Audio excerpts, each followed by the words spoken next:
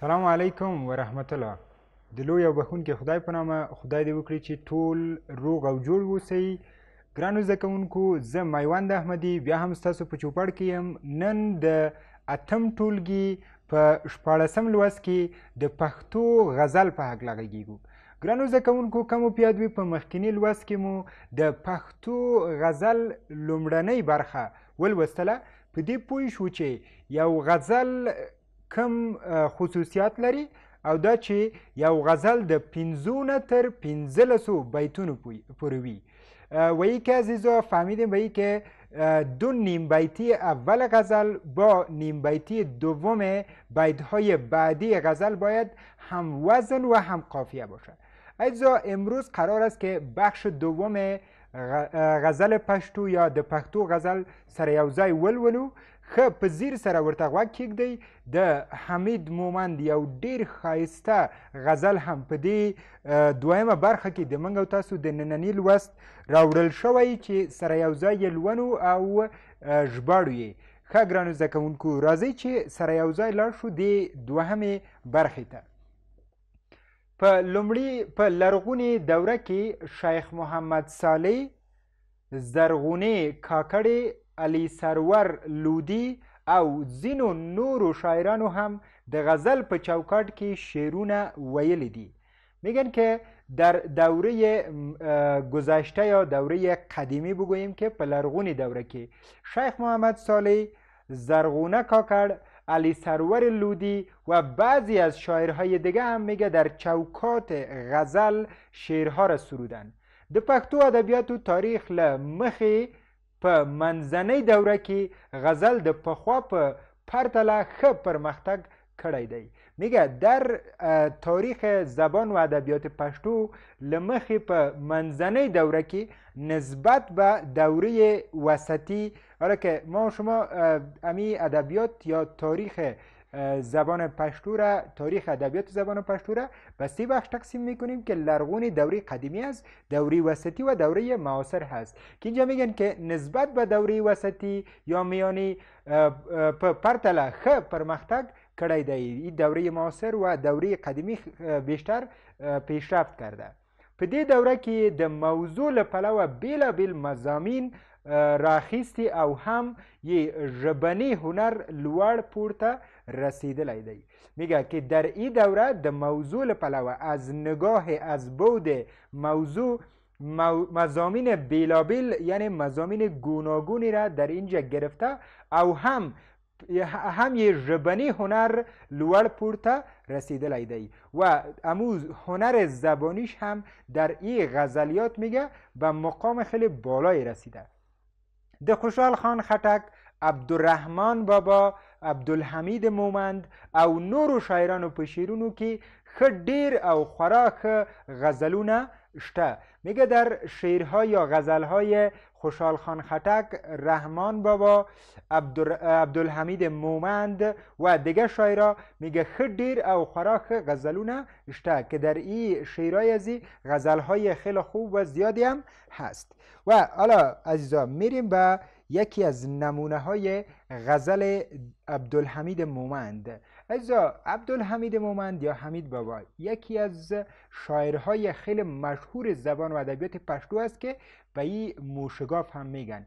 یعنی عبدالحمید مومند از تشبیهات خیلی زیاد استفاده کرده و اکثرا موضوعاتش مزامین غزلش ربط میگرده به امو خداشناسی و اینجا که تشبیه معشوقه و دیگه موضوعات هست ایره در نخست براتون میگم چون قرار است این شعر را با هم ترجمه بکنیم و بخوانیم د عبدالحمید مومند یو غزل داده. یکی از نمونه غزل عبدالحمید مومند ای است. خب عزیزا میگید که هغه مخ کړم مبتلا په تاسف. هغه مخ کړم مبتلا په تاسف چې یې لاس په تاسف موږي یوسف. خب ایزا اینجا میگه که او روی را حق مخ کردم مبتلا به تاسف میگه او روی را روی یعنی چهره را به تاسف مبتلا می‌سازم کدام روی را؟ چه یه لاس به تاسف مگی یوسف که دست خود را به تاسف. ایزا اگر متوجه شده باشین یک کسی وقت نگران باشد تاسف یا تاثیر داشته باشد در این صورت دست خود را به این شکل میماله. که اینجا هم گفته که چه لاس په تاسف مگی یوسف. که به خاطر یوسف میگه دست های خود را از تاسف به هم میماله مگی ای, ای حالت را میگه وقتی دست خود را به هم میمالن. میگه که دست خود را به خاطر یوسف از تاسف با هم میماله بیلده چیه لسر از آن قربان کردم. میگه بغیر از این که بدون از این که ما به خاطرش چه لسر آن قربان کنم به خاطرش سر خود را قربان بکنم. گنه اشته گنه گنه نه اشته هیسوک ده حسن کف گنه گنه نه اشته یعنی نمونهش مثالش شبیهش نیست هیسوک ده حسن کف کف ایزا اینجا کلمه عربی است که کف به معنای یکسان یا همانند معنا میته که اینجا میگه که گنه نیشته شبیهش مثالش نیست. هیچ کس از روی حسن. یعنی زیبایی را که شخص داره کسی را که اینجا هدف شاعر هست میگه زیبایی از این شخص میگه در هیچ کس. همسان, همسان زیبایی از در هیچ کسی دیگه نیست. که شبیه یا مثالش میگه زیبایی هیچ کس نداره. چه میار لخو به ویخ نکری نسیمه. چه میار لخو به ویخ نکری نسیمه گوره الوزه پورو په تلطف. خب اینجا میگه که ای نسیم ای باد صبح. نسیم امو باد خیلی ملایم صبح هست یا امون شمال خیلی ملایم هست که میگه ای نسیم که یار ما معشوقه ما از خواب بیدار نکنی. میگه ببین که معشوقه ما از خواب بیدار نکنی.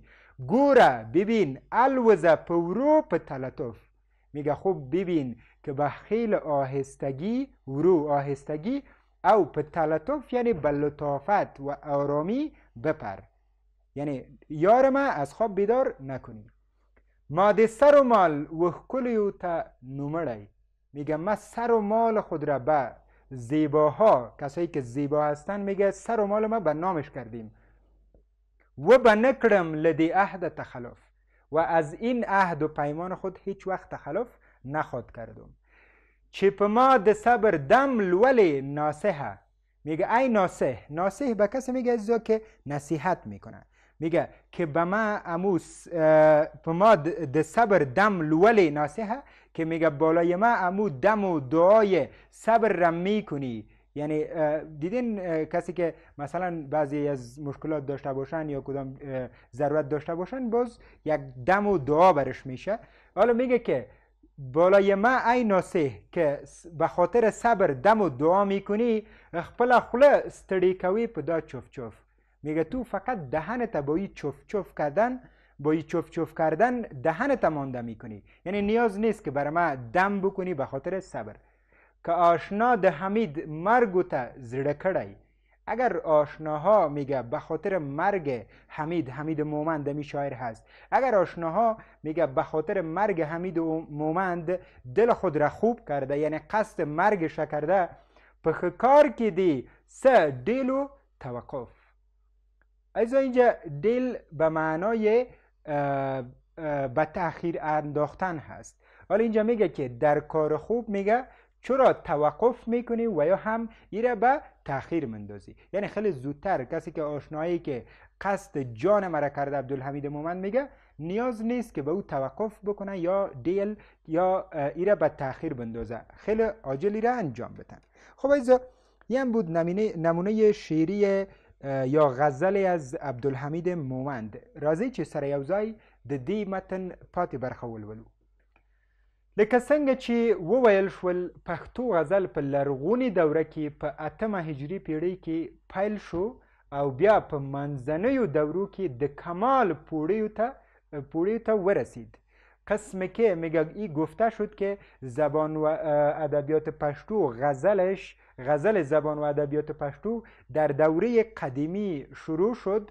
په اتمه هجری پیړۍ کې در قرن هجده هجری قمری در قرن هجده پیل شوی آغاز شد او بیا په منځنیو دوره کې د کمال پوړیو ته ورسید و در دوره های میانی یا وسطی به مو دوره یا مقام و کمال عالی رسید. د روکانیانو په په پیر کې میرزا خان انصاری در دوران روحانی ها که قبلا درباره از خوانده بودیم که در این دوره میگه شخص به نام مرزا خان انصاری دولت لوانی شخص دیگه به نام دولت لوانی است. واصل روخانی او کریمداد د غزل صنف ته پراختیا ورکړه. میگه به صنف غزل ای اشخاص میگه پیشرفت داد پراختیا ورکړه. چې زیاتر مزامین یې تصوفی و. که اکثرا مزامین از تصوفی بود. از نمونه شعری یا غزل عبدالحمید بابا هم که خواندیم تقریبا تمام موضوعاتش مربوط تصوف بود که این اشخاص هم میگه اکثرا مزامینش تصوفی بود.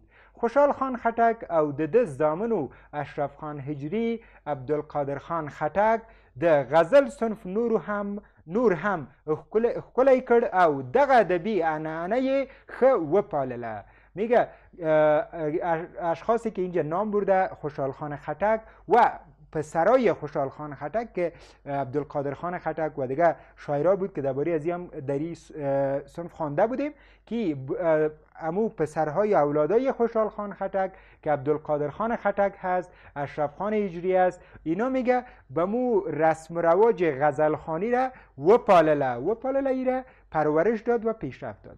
په همدغه دوره کې عبدالحمید مومند او کاظم خان شیدا د غزل هنری ښکلا لوړو مدارجو ته ورسوله. میگن در امی دوره شخص به نام عبدالحمید مومند کاظم خان شیدا امو مقام یا هنر غزل را لوړو مدارجو ته ورسوله. بعد درجه های خیلی بالا رساند چې د دوی پیروانو هم دغه لاره په ښه توګه وپالله که پیروای از این اشخاص هم میگه کسایی که پیروی از سبک غزل از این اشخاص را می‌کرد میگه این سبک را خیلی پیشرفت داد. ایزا این بود بخش دوم د غزل پشتو. یادتان نره که یا پختو غزل که در ارتباط به غزل معلوماتی را که به دست آوردین که چند بخش داره کدام خصوصیات را داره و نمونه های شعری را اینا را با خود ترجمه بکنین و درباره یک متن نوشته بکنین. دا و زمونږ تاسو نننی لوست تربیه تاسو ټول په لوی او بخون کې خدای سپارم د خدای پامان